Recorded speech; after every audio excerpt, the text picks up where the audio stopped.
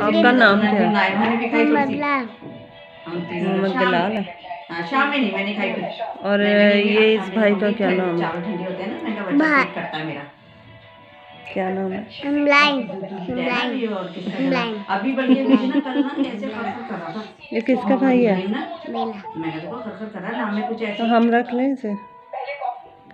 मेरे को मिला है एक हाँ, टैटू में तो मैं तो मैं- मैं पानी भी गर्म पी रही हूँ अभी। में अच्छा, दांत टूट गया आपका। इतनी जल्दी तो नहीं टूट सकता। था एक ही टूटा मेरा तो एक टूटा। तो चूहा ले गया था आपका दांत। हाँ, वो तो मगरमच्छ। मगरमच्छ ले गया कहाँ से? अस्सलाम वालेकुम क्या हाल है? उम्मीद करती हूँ ठीक होंगे खुश होंगे। अल्हम्दुलिल्लाह मैं भी बिल्कुल ठीक हूँ।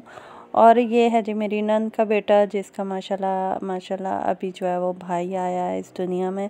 तो ये लोग हमारे घर आए हुए हैं। तो मैंने सोचा क्यों ना इसका थोड़ा सा इंटरव्यू लेते हैं और इतनी इतनी स्टोरी सुना रहा था और इसमें भी मुझसे बातें कर रहा था और मुझे कभी कह रहा था लॉइन आ गया। और उसने मुझे पंजा मारा। तो ये तो वो बस बच्चों की स्टोरीज जो है वो तो ख़त्म होती ही नहीं है। तो म, माशाल्लाह खैर ये टिक गया। हमें उम्मीद नहीं थी कि ये हमारे घर टिक जाएगा क्योंकि ये अपने बाबा के बगैर जो है वो ज़्यादा दिन नहीं अच्छा मामू आपको क्या कहते हैं? नहीं नहीं नहीं नहीं बोला और यहाँ मैं इसे पूछ रही थी कि आपके मामू आपको क्या कहते हैं? एक्चुअली इसके मामू इसको बिल्लू भयंकर कहते हैं और ये बहुत चढ़ता है और कहता है कि नहीं मेरा नाम मोहम्मद बिलाल है मोहम्मद बिलाल है। और रियली मैं अपने हस्बैंड से बहुत कहती हूँ कि इसको नहीं छेड़ा करे बच्चों की चिढ़ बन जाती है तो बच्चों को जो है वो निक नेम से नहीं बुलाना चाहिए। मतलब उनके रियल नेम से बुलाएँ कोई अच्छा नाम है निक नेम तो उससे बुला ले। ये बिल्लू तो मुझे भी बिल्कुल भी नहीं पसंद।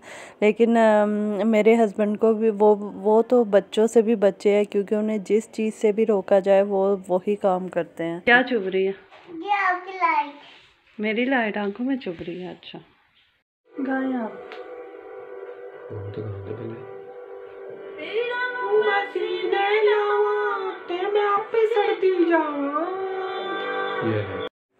और मेरे हस्बैंड के सुर चेक करें। आप ये गाने को तो बिगाड़ ही देते हैं। और ये है जी नेक्स्ट डे का नेक्स्ट डे और यहाँ पे जी मैं तैयार कर रही थी बोली क्योंकि मेरे हस्बैंड जो है मतलब बोली लेके आए थे, मैं बोली तैयार नहीं कर रही थी। वो जो उससे निकलती है क्या निकलती है वो जो खोया टाइप होता है, बस वो निकालना था। तो मेरे हस्बैंड मुझे कह रहे थे कि तुम कर देना, लेकिन मुझे तो आता नहीं था, फिर मैंने अपनी सास से पूछा। तो वो भी मेरे साथ लगी हुई थी और हम दोनों सास बहू ने मिल जो है वो इसको तैयार कर रहे थे।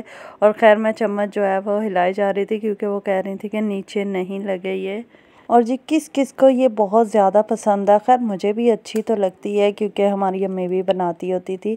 लेकिन अब बड़ा ही अरसा हो गया था मेरा मतलब अ, वो शायद बचपन में कभी खाई हो। तो अभी तो मुझे याद भी नहीं आ रहा था कि मैंने कब खाई है। और ये देखे पानी काफ़ी हद तक खुश्क हो रहा है। तो खैर मेरी सास बता रही थी कि बिल्कुल पानी खुश्क करना है। तो यहाँ पे जी मैं हिला भी रही हूँ साथ साथ पानी भी खुश कर रही हूँ।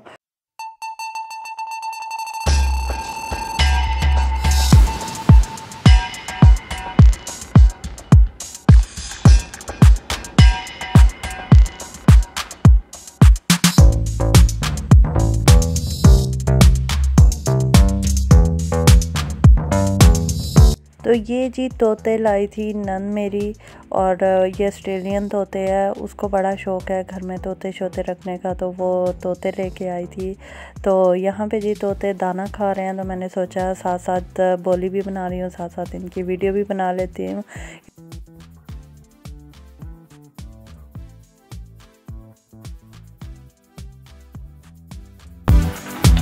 Mm-hmm.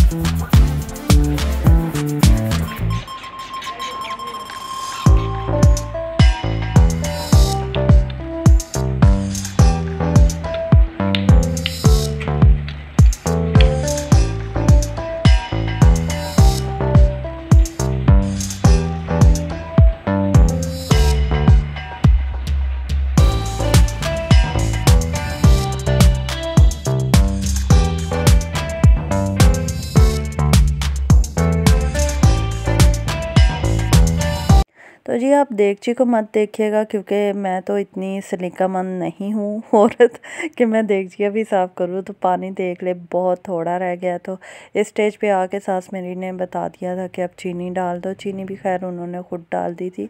तो चीनी डाल के मैंने इसे दम पे रख दिया था क्योंकि नन मेरी बता रही थी कि इसे दम पे रख देते हैं बाद में। तो चले जी, अब इसे दम पे रख देते हैं।